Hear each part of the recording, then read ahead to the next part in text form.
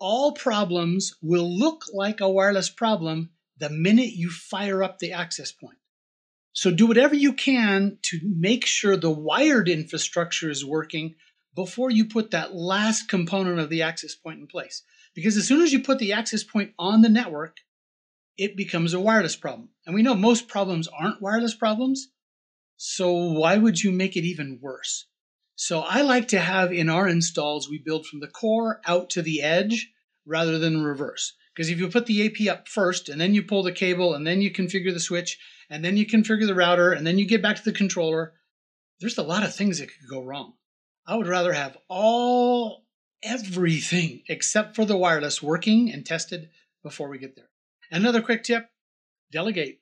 We can't do everything. This is wireless LAN design tips. So anything that doesn't have to do with that, delegate it out somewhere else.